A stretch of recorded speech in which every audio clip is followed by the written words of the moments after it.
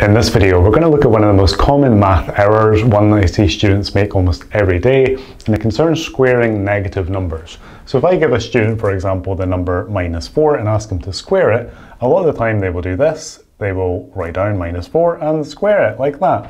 And intuitively that seems kind of right because you take the number, you put a little 2 on it, and that means the number squared.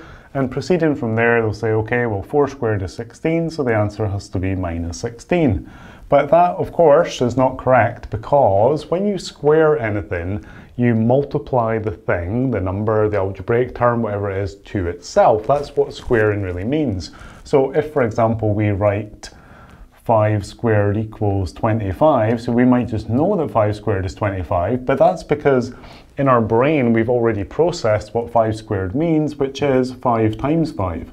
So we've got like an intermediate line of work in here where the thing is being multiplied to itself. So taking that logic to the number minus 4, if we take minus 4 and want to square it, then that should be the number, the, sorry, the operation minus 4 times minus 4. But when we do minus 4 times minus 4, those are two negative numbers. In other words, a double negative, which makes a positive, so that's going to come out to be positive 16.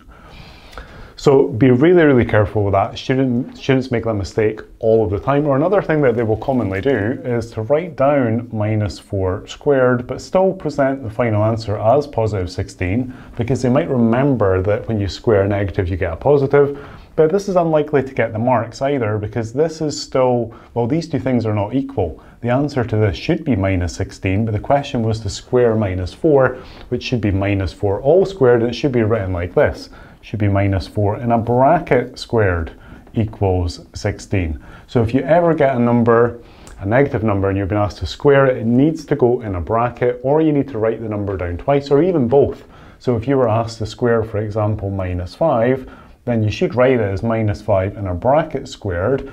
You can then go straight to the answer 25, or you could put in an intermediate line of working, which would be minus 5 times minus 5. That's then a double negative, so the answer is going to be 25. But just remember that anytime you're squaring a negative, it should always come out to be a positive solution. There's very few scenarios where you're going to be processing something uh, like this. It's usually going to be the negative number all squared, which will then turn into a positive. So just to highlight this point of when you square something, you multiply it to yourself, let's look at another slightly different but related um, error that students make. If you've got something like 3a all squared, a lot of students will write down the answer as 3a squared. They see the a, they see the thing being squared, and they think, well, an a squared is a squared. They forget, though, that 3a all squared, again, it's just really shorthand, like writing the squared is a shorthand for multiply that 3a to itself. So this really means 3a being multiplied to 3a, but in that scenario we need to multiply the numbers together to get a 9 and then the a squared. Okay, so it's not a bad idea whenever you see anything squared, a number, a bracket, an algebraic term, to write the thing down twice, multiplied together, because that is what it actually means. Another really common scenario in which you see the issue with a negative being squared is when dealing with quadratic equations and using the discriminant. So if you're not uh, familiar with quadratic equations, don't worry too much about this. This is just an example of well, well, one of the most common places that I see students uh, failing with the, the negative being squared. So in quadratic equations, we've got this quantity called the discriminant and it relates to the numbers, the coefficients of the x squared x uh, term and then the number term. So in this scenario, the a value would be 1, and the b value would be negative 2, and the c value would be 3. If you've got no idea what I'm talking about, if you've never seen these, then don't worry about it. This is just a specific um, example, um, but you can still follow along to see where the error comes in. So we need to work out this quantity here using our a, b, and c values. So we write down b squared minus 4ac. In quadratic equations, are super common in like Algebra 1, Algebra 2, pre-calculus, even into calculus. Um, so discriminant is all over the place. So quite often in the discriminant, the b term, which is the, the coefficient of the x term, will be a negative, and the formula has got that b term being squared.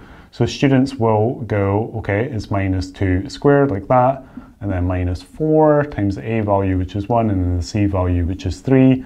Minus 4 squared is going to be, uh, sorry, minus 2 squared is going to be minus 4. And then 4 times 1 is 4, times 3 is 12, minus 12, and then they get minus 16. Of course, that's not correct because this here should have been in a bracket. What we should have done was make this minus 2 all squared minus 4 times 1 times 3. So minus 2 all squared and it's positive 4, not negative 4. This comes out to still be minus 12, giving us a correct final answer of minus 8. So that's just one instance in which to watch out for squaring negative numbers.